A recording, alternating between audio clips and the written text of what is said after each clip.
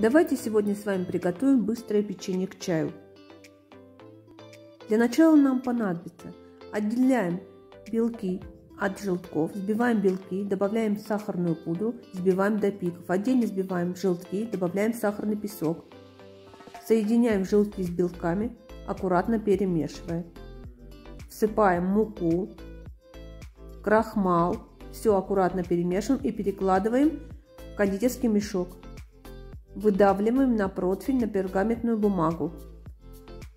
Сверху приступаем сахарной пудрой, выпекаем в духовке минут 20-25 до светло-золотистого цвета.